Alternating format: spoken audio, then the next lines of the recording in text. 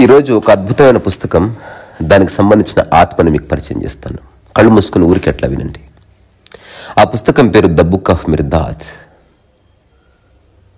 Osho లాంటి వాడు ఇలా చెప్పుకున్నాడు మైఖేల్ నేమి రాసిన ఈ పుస్తకం గురించి. ఒకవేళ మైఖేల్ నేమి గనక ఈ పుస్తకం రాయకపోయి ఉంటే నేను రాసుండేవాడిని నేను చదివిన ఒక లక్ష యాభై వేల పుస్తకాల్లో ఏ పుస్తకం మీద పెన్సిల్ పెట్టలేదు అండర్లైన్ చేయలేదు. బట్ నేను మైఖేల్ నేమి రాసిన మిర్దాత్ చదువుతున్నప్పుడు చాలాసార్లు ఆ పుస్తకంలోని లైన్స్ని నేను అండర్లైన్ చేశాను.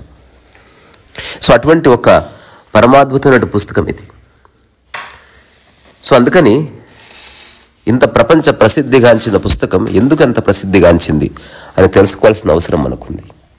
సరే మనం ఎలాగో గొప్ప గొప్ప పుస్తకాలు రాయలేం. బట్ ఎవరైతే గొప్ప పరమోత్కృష్టమైన రచనలు చేశారో లేదా పెయింటింగ్స్ వేశారో అటువంటి మ్యాగ్నమ్ ఓపస్ని ఎట్లీస్ట్ చూసి విని కూడా జీవితంలో తరించవచ్చు. సో మైఖేల్ నైమి రాసిన ఈ పుస్తకం ప్రపంచాన్ని ఆకర్షించిన ఒక పరమాద్భుతమైన రచన. ఇందులో ఏ సందేహం లేదు. అందులో ఉన్న ఆత్మని ఇలా చెప్తాడు. ఇదొక సజీవంగా ఉన్న దీపం. దీన్ని మీ చేతులతో నాశనం చేయకండి. నేను మీకు గౌరవంగా ఈ విషయాన్ని చెప్పాలనుకుంటున్నాను. మీకు అది అందివ్వాలనుకుంటున్నాను. మీ కళ్ళతోనే ఆ కాంతిని విందు చేసుకోండి. వాటితోనే మీ యొక్క హృదయాలను వెలిగించుకోండి. దానికి దగ్గరగా ఉండే ప్రయత్నం చేయండి. ఆ కాంతి పేరే ఆ సజీవంగా ఉన్న దీపం పేరే మిర్దాత్ అంత అద్భుతమైన కాంతిని మీరు మళ్ళీ జీవితంలో దర్శించలేడు ఇది ఒక అద్భుతమైన పోయిటిక్ ఎసెన్స్తో రాయబడ్డ పుస్తకం. మైఖేల్ నేమి ఈ మిర్దాద్ గురించి చెప్తూ ఇట్లా అన్నాడు. నేనే మిర్దాద్ అని చెప్పుకున్నాడు. ఎవరా మిర్దాద్? అంటే జీసస్ క్రైస్ట్ తర్వాత నెక్స్ట్ ప్రాఫిట్ అని చెప్పుకున్నాడు. సో మైఖేల్ నేమి దీని గురించి చాలా గొప్పగా మాట్లాడతాడు. ఒక రహస్యపూర్ణమైనటువంటి ఒక వింత ప్రాణి మిర్దాద్. ఎక్కడో రిమోట్ ఏరియాలో మనిషికి కంట కనబడింది ఒకనొక ఏరియాలో కొండల మీద ఉన్న ఒక మోనాస్ట్రీ ఒక ఆశ్రమం. ద ఆర్క్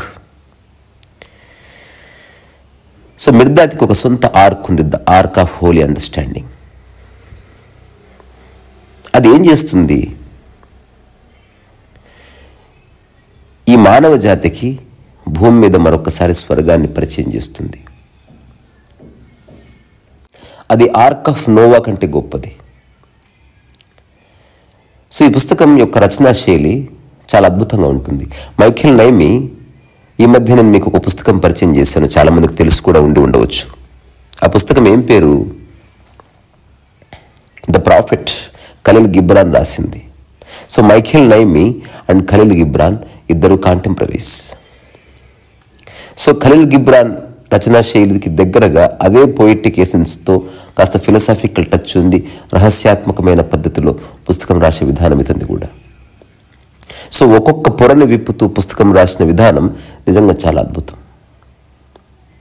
పుస్తకంలోని ప్రతి అక్షరం ప్రతి లైను ఎక్కడో ఒక రహస్య తలం నుంచి వచ్చినట్టు మనకు అనిపిస్తుంది.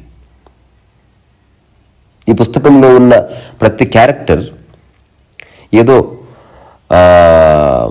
ఆత్మ యొక్క స్వభావాన్ని జీవితం యొక్క వాస్తవికతని మనకు పరిచయం చేయడానికి మన ముందు సజీవంగా వచ్చి నిలబడ్డట్టు మనకు అనిపిస్తాయి.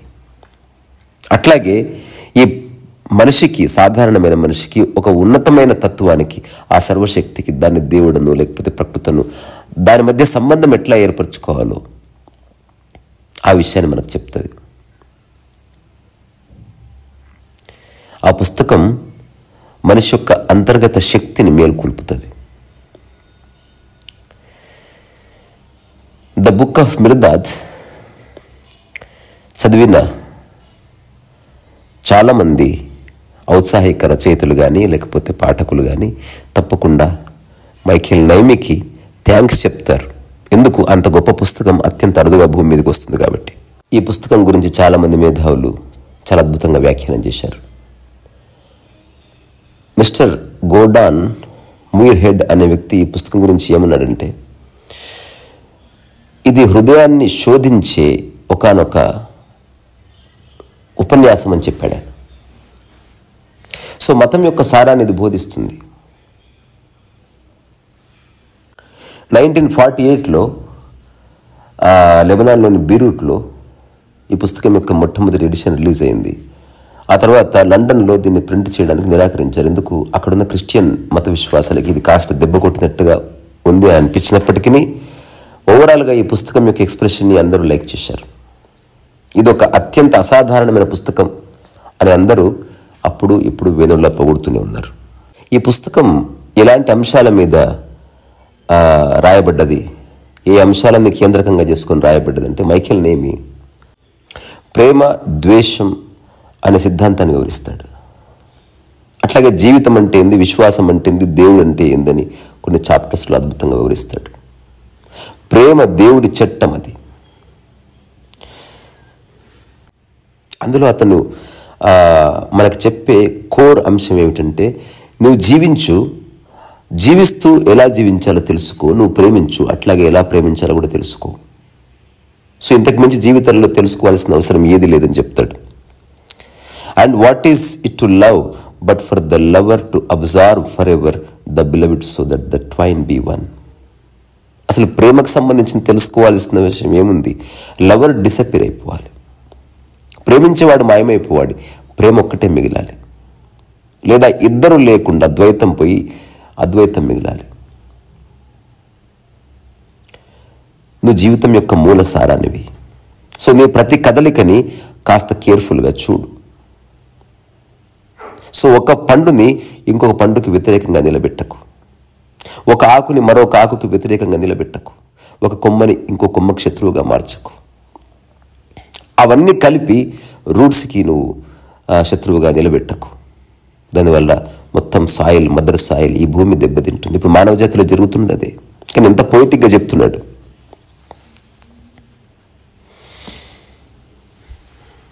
అతిగా ప్రేమించొద్దని చెప్తున్నాడు. మీరు అతిగా ప్రేమించడం వల్లనే ఈ చిక్కంతా వచ్చింది. అతిగా ప్రేమించి ఇష్టం లేని వాటిని మీరు ఎరాడికేట్ చేస్తున్నారని చెప్తున్నట్టు. ఎక్సలెంట్ ఎక్సలెంట్ రైటింగ్ నువ్వే you are the tree of life నువ్వు సజీవంగా ఉన్న వృక్షానివి ఆ వృక్షమే జీవము జీవమే నీవు. నీ మూలాలు అన్ని చోట్ల ఉన్నాయి. అలాగే నీ కొమ్మలు నీ ఆకులు నీ పూలు నీ పళ్ళు అన్ని చోట్ల ఉన్నాయి. నీ పళ్ళు ప్రతి నెలలో ఉదయిస్తూనే ఉన్నాయి. ఒకవేళ ఫ్రూట్స్ ఉన్నా లేకపోయినా దాని కొమ్మలు ఎప్పటికీ ఉన్నాయి. Whatever be its roots they are your fruits they are your leaves and boughs they are your roots so నీ మూలాలను ఎప్పుడు మర్చిపోవద్దు. మూలాలు సజీవంగా ఉంటే కొమ్మలు సజీవంగా ఉంటాయి. ఆ తర్వాత ఆకులు సజీవంగా ఉంటాయి. అన్నీ సజీవంగా ఉంటాయి. సో మైఖిల్ నేమి ఈ పుస్తకంలో మిర్దా ద్వారా అద్భుతమైన ఆధ్యాత్మిక ప్రవచనం చేయిస్తాడు. ఇందులో అద్భుతమైన క్యారెక్టర్స్ ఉన్నాయి. క్యారెక్టర్స్ గురించి మరెప్పుడైనా చెప్పుకుందాం. ఈరోజు నేను చెప్పాలనుకున్న టాక్ దాని ఎసెన్స్ మాత్రమే. ఒక చెట్టుకి కాసే బలమైన పండు దాని సువాసన దాని రసము నీకు నచ్చిందనుకో జస్ట్ అక్కడే ఆగిపోకు. దాని మూలాన్ని చూడు. ఆ చెట్టు కొమ్మల్లో కాండల్లో ప్రసరించే పసరును చూడంటాడు. At love is the sap of the life while hated is the pus of death అసలు ఎంత బాగుంది. సో ప్రేమ అన్నది జీవితాన్ని నిలబెట్టే ఒక సారం అది. అట్లాగే ద్వేషం అన్నది ఆ మరణం మరణించినప్పుడు వచ్చే ఆ చీము నెత్తురు లాంటిది. ఆ చెడిపోయిన రక్తం లాంటిది. But love like blood must circulate unhindered in the veins అంటాడు. ప్రేమ అన్నది రక్తము లాంటిది. అది నిరంతరము ఎలాంటి అడ్డంకి లేకుండా నీ యొక్క నరాల్లో ప్రవహించాలంటాడు.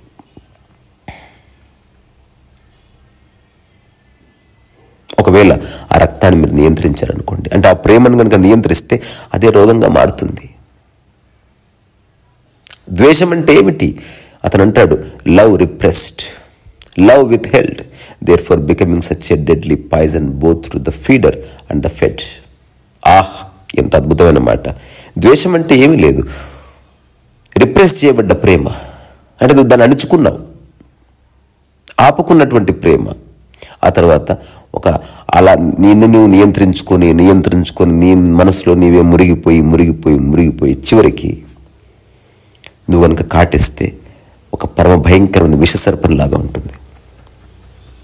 అది ఇద్దరిని చంపేస్తుంది. ఎవరిని ద్వేషిస్తున్నావో వాడిని చంపేస్తుంది ద్వేషించే వాడిని చంపేస్తుంది.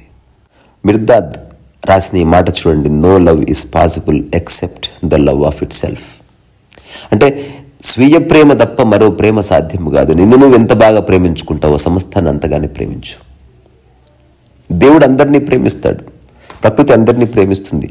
అందరినీ ప్రేమించడం అంటే అందరినీ సమదృష్టితో చూడడం అని. ఎందుకంటే అతను తన్ను తాను ప్రేమించుకుంటాడు. సో ప్రేమ అనే దాన్ని ఆధారం చేసుకుని నువ్వు బాధపడుతుంది వరకు నువ్వు ప్రేమను కనుక్కోలేవు. నీ నిజమైన స్వభావాన్ని కనుక్కోలేవు. అట్లాగే ఒక అద్భుతమైన బంగారు తాళపు చెవి కనుక్కోలేవు తద్వారా ప్రేమ ద్వారా ఇప్పటికీ నువ్వు ఓపెన్ చేయలేవు. సో నువ్వు తాత్కాలికమైన క్షణభంగురమైన ఒక అశాశ్వతమైన నిన్ను ఆరాధిస్తున్నావు. శాశ్వతత్వంలోకి నువ్వు ప్రవేశించడమే లేదు. జస్ట్ ఒక మనిషి ఒక ఆడది ఒక మగవాడిని ప్రేమించడం ప్రేమగానే కాదు. అది ప్రేమ యొక్క ఉపరితలం మాత్రమే. ప్రేమ యొక్క హృదయంలోకి ఆ త్రిశూల్లోకి రావాలి. ప్రేమించడం గొప్ప గుణం అనుకోకండి. ప్రేమ ఒక అవసరం. రొట్టె మరియు నీటి కంటే ఎక్కువ కాంతి కంటే ఎక్కువ గాలి కంటే ఎక్కువ. సో మీరు ఎవరన్నా ప్రేమిస్తే ఆ ప్రేమ గురించి మీరు గర్వాన్ని పొంద పొందకండి. ప్రేమలో ఊపిరి పీల్చుకోండి. మీరు జీవించండి అందరినీ బతకనివ్వండి. స్వేచ్ఛగా ఉండండి. సో ప్రేమకు ప్రతిఫలం కోరవద్దు. ప్రేమకు ప్రతిఫలం ప్రేమనే ద్వేషానికి ద్వేషం సరిపోతుంది. సో ప్రేమ నీకు ఉన్నదానికంటే ఎక్కువ ఇవ్వదు నీ దగ్గర ఉన్నది లాగేసుకోదు. ప్రేమ నిన్ను నీకు పరిచయం చేస్తుంది. ప్రేమ ఏదైనా సరే సంపూర్ణంగా ఇస్తుంది. అట్లాగే ఏదైనా తీసుకున్నప్పుడు సంపూర్ణంగా తీసుకుంటుంది. When it takes it takes it all it is very taking is a giving తీసుకోవడమే ఇవ్వడం. It is very giving is a taking ఇవ్వడమే తీసుకోవడం. Therefore it is the same today and morrow and forevermore అది ఇప్పుడు రేపు ఎల్లుండి ఎప్పటికీ దాని స్వభావం అంతే. ఇంకా చూడండి there is no more or less in love ప్రేమలో ఎక్కువ లేదు తక్కువ లేదు. ప్రేమను కొలవడానికి ఒక వస్తువు కానీ ఒక మెజర్మెంట్ కానీ లేదు. ప్రేమ అప్పుడు ఇప్పుడు అనేది లేదు. ఇక్కడ అక్కడ అనేది లేదు. ప్రేమ అన్ని సీజన్స్లోనూ ఉంది. ఉన్నదే ప్రేమ. ప్రతి సందర్భము ప్రతి మూల ప్రేమకు అర్హమే. ప్రేమకు సరిహద్దులు లేవు అడ్డంకులు లేవు. దానికి ఏ ఆటంకాలు రావు. ఒకవేళ వచ్చిందా అది వెంటనే మార్గాన్ని సన్నతాన్ని సరి చేసుకుంటుంది. ప్రేమ అంటేనే సర్వాంగీకారం. ఇందులో మైఖిల్ నేమి ప్రేమ గుడ్డిది అనే దాన్ని ఎట్లా నిర్వచిస్తున్నాడు చూడండి. I often hear you say that love is blind meaning that it can see no fault in the beloved అందుకు ప్రేమ గుడ్డిది అన్నారు ప్రేమ గుడ్డిదంటే దాని అర్థం కళ్ళు లేకపోవడం కాదు. సో ప్రేమ గుడ్డిది అంటే అది ఎదుటి వ్యక్తి తప్పులను చూడడం మానేసింది అని. ఎంత అద్భుతమైన అబ్జర్వేషన్ సో కళ్ళు లేని స్థితి వేరు. అహంకారంతో పూడుకుపోయిన స్థితి వేరు. సో ప్రేమ అన్నది జీవితం యొక్క ఒక శ్రావ్యత ఒక శాంతి. సో అదే ద్వేషం అన్నది మృత్యు యొక్క ఒకనొక క్రూరమైన పేలులతో కూడిన యుద్ధ శబ్దం అది. ఇప్పుడు ఒక చిన్న ప్రశ్న మీరు దేని ఇష్టపడతారు? ప్రేమించడం ఇష్టపడతారా? నిరంతరం శాంతిగా ఉంటాను ఇష్టపడతారా? లేదా నిరంతరం యుద్ధం ఇష్టపడతారా? లేకపోతే నిరంతరం ద్వేషించడం ఇష్టపడతారా? మీరే డిక్లేర్ చేయండి. ఈ సమస్త విశ్వం నీలోనే సజీవంగా ఉంది. ఈ ఆకాశము భూమి ఈ నేల ఈ నీరు అన్నీ నీలోనే ఉన్నాయి. అవి సజీవంగా ఉండాలంటే నీవు సజీవంగా ఉండాలి. అవి ప్రేమను మనకు పంచి ఇవ్వాలంటే నువ్వు మొదట వాటిని ప్రేమించాలి. మొదట వాటిని నువ్వు ప్రేమించాలంటే నిన్ను నువ్వు ప్రేమించాలి. సో స్వర్గానికి ద్వారం ఎక్కడో లేదు నీ ప్రేమలోనే ఉంది. ఇందులో మిర్దాద్ ఒక మాట అంటాడు. ఏదైనా మీరు అంగీకరిస్తే గుణుక్కోకుండా విసుక్కోకుండా అంగీకరించండి. ఒక పెద్ద అపజయాన్ని కూడా సరదా విజయంగా మార్చగలిగే శక్తి మీలో ఉందని నమ్మి ఒక అడుగు ముందుకేయండి. ఈ పుస్తకంలో చాలా అద్భుతమైనటువంటి విషయాలు ఉన్నాయి ఇప్పుడు ప్రేమ గురించి నేను ఒక వ్యాఖ్య చేశాను. ఈ పుస్తకం చదివిన తర్వాత నిజంగా నాకు ఒక బుక్ రాయాలనిపించింది ఒకప్పుడు. ఇప్పుడు కూడా అనిపిస్తుంది. అంటే ఒక నీ అనుభవమే. అంటే ఒక ప్రాఫిట్ ఎలా మాట్లాడతాడు? తన మనసులో ఏ కల్మషం ఉండదు. ఇందులో ఒక స్టేట్మెంట్ ఉంటుంది. నువ్వు ఒక దానికోసం ఎంతగా ఎదురు చూస్తే అది నీ జీవితంలోకి రావడం అంత ఆలస్యం అవుతుంది నువ్వు ఎదురు చూడకుండా నీ పనిలో నీవుండు ఆ తక్షణం నీ పక్కనే ఉంటుంది. అది నీవే నీలోనే ఉంది. ప్రేమ కోసం ఎదురు చూడకు నువ్వే ప్రేమవుగా. ఎదురు చూస్తున్న కొద్ది భంగపాటు తప్పదు. మీకు తెలియని దాన్ని అంగీకరించండి. అదే మీకు తెలుసుకునే విధంగా మారుస్తుంది. అంతేగాని స్టబ్బర్న్గా ఉండకండి. అద్భుతమైన ఏమంటారు ఒక నిరంతర సంకల్పాన్ని కలిగి ఉంచండి. మొండిగా ఉండకండి. దేవుడు జీవం మూర్తిభవించి అట్లా మన చుట్టూ ఆవరించింది. దాని పరిధ్యానంతం దాన్ని వర్ణించలేం. ఈ పుస్తకంలో ప్రతి మాట అంటే ఎక్కడ చదివినా కూడా ఇప్పుడు ఈ క్షణం నా ఎదురుగా మిర్దాద్ ఉంది. నేను ఊరికి ఏదైనా ఒక పేజ్ తీసి చదువుతాను. దీని ఎసెన్స్ నేను రాసిపెట్టుకు నోట్స్ నుంచి మీకు చెప్పాను. ఎక్కడ చదివినా ఆ సంశయం లేకుండా చెప్పే మాటలు. నేను ఊరికే వన్ నాట్ ఫైవ్ పేజ్ తెరిచాను. I say to you that time remembers everything at all not only that of which you have a vivid recollection but but that as well of which you are entirely unaware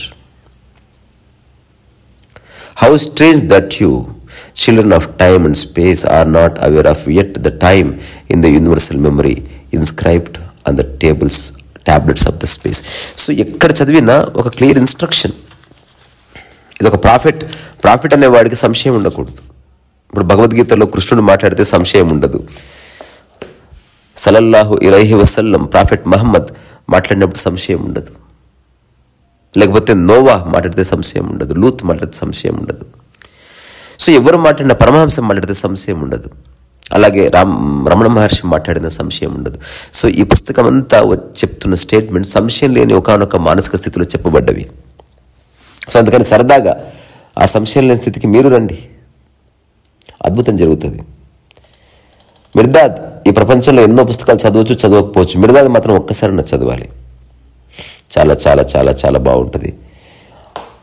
ఏదేమైనా ఈ book of Mirdad అన్నది మీ హృదయాన్ని రంజింపజేసి మిమ్మల్ని మీకు దారి చూపి మిమ్మల్ని మీకే పరిచయం చేసి సమాజంలో మీ మిమ్మల్ని ఒక హార్మోనియస్ బీయింగ్గా నిలబెట్టి రకరకాల ఇన్సైట్స్ ఇస్తుంది. ఈ పుస్తకం ఈ సమస్త మానవ జాతికి చదివిన ప్రతి ఒక్కరికి ఒక మానసిక తృప్తిని అట్లాగే ఒక సహజమైన గౌరవాన్ని ఆ రచయిత పట్ల కలుగజేసింది. సో మీరు కూడా ఈ పుస్తకాన్ని చదవండి. ఎప్పుడన్నా మిర్దాద్ గురించి మనం ఒక చిన్న సెమినార్ లాంటిది పెట్టుకుందాం. అందులో అద్భుతమైన స్టేట్మెంట్స్ ఉన్నాయి. ఆ మిర్దాదుల స్టేట్మెంట్స్ అన్ని ఒక పుస్తకం రాస్తుందండి భవిష్యత్తులో. ఓన్లీ స్టేట్మెంట్స్ ఇప్పుడు ప్రేమ గురించి ఎన్ని స్టేట్మెంట్స్ ఉన్నాయి? Why not we should write a book so ఇక్కడి నుంచే మీ అందరిలో ఉన్న మిర్దాద్కి మీలో ఉన్న అవ్యాజమైన ప్రేమకి మీలో ఉన్న ఆకలికి మీలో ఉన్న నిద్రకి మీలో ఉన్న అమాయకత్వానికి మీలో ఇంకా చచ్చిపోకుండా సజీవంగా ఉన్న చిన్నపిల్లవాడికి శిరస్సు ఉంచి నమస్కారం చేస్తున్నా. రిసా రసో వైసహ have a wonderful day night evening morning each moment ta ta bye bye